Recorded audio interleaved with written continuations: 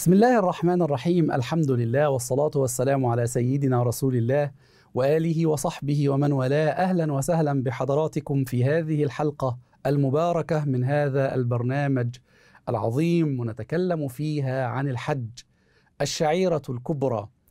وفي هذه الحلقة نتكلم عن سبب أفضلية هذه الشعيرة وسبب أفضلية هذا الركن من أركان الإسلام. أفضلية هذا الركن ترجع لأفضلية الزمان. فالله سبحانه وتعالى اختار لهذا الركن زمانا عظيما وهو العشر الأوائل من شهر ذي الحجة التي قال عنها سيدنا رسول الله صلى الله عليه وآله وسلم ما العمل في أيام عشر خير من العمل في هذه العشر؟ فسأل الصحابة رسول الله صلى الله عليه وآله وسلم ولا الجهاد؟ قال ولا الجهاد إلا جهاد رجل خرج بنفسه وماله فلم يرجع من ذلك بشيء. إذا أفضلية الزمان فيقع هذا الركن من أركان الإسلام في أفضل زمان. ثم أفضلية المكان فهذا الركن يؤدى في بيت الله الحرام. بيت الله الذي اختاره الله سبحانه وتعالى ليكون قبلة للناس. بيت الله الذي حج إليه أنبياء الله. بيت الله الذي أمر الله إبراهيم عليه السلام بأن يرفع قواعده. بيت الله هو أول بيت وضع للناس. فأفضلية الزمان وأفضلية المكان. ثالثا أفضلية الأشخاص.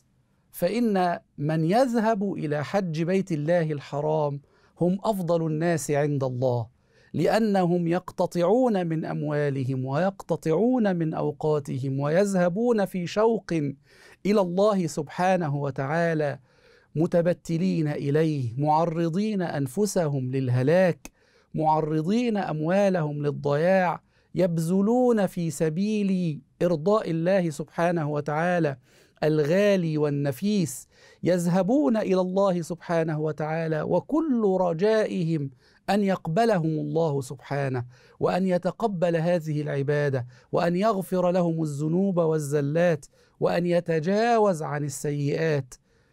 وأفضلية أخرى إنما هي أفضلية الأحوال.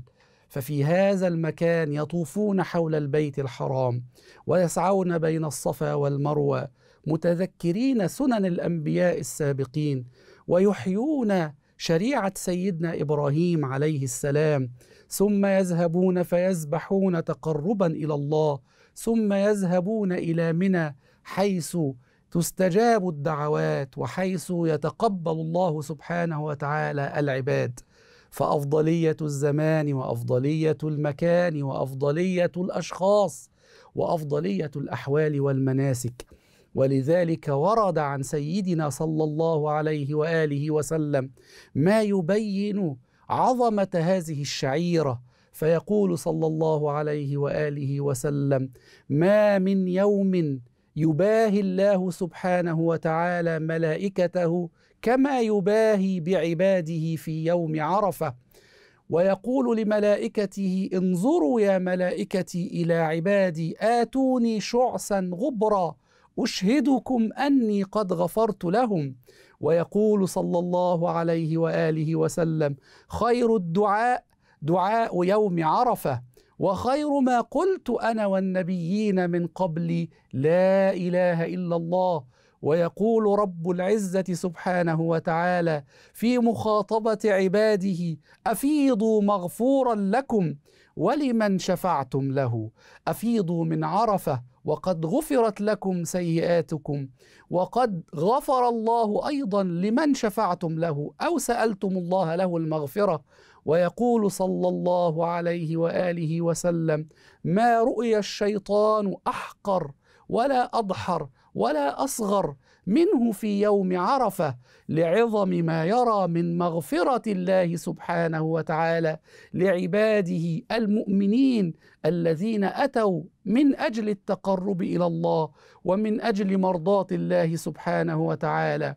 فطهارة الزمان وطهارة المكان وأفضلية الزمان وأفضلية المكان وأفضلية الصالحين الذين جاءوا تقربا إلى الله وأفضلية الأفعال التي أمر الله بها عباده واستجابوا إلى ربهم وجاءوا إليه شعثا غبرا يسألونه مغفرته ورضوانه ثم يفيض عليهم رب العزة سبحانه بالرضا والرضوان والقبول. ولذلك يقول المصطفى صلى الله عليه وآله وسلم من حج فلم يرفس ولم يفسق رجع من ذنوبه كيوم ولدته أمه.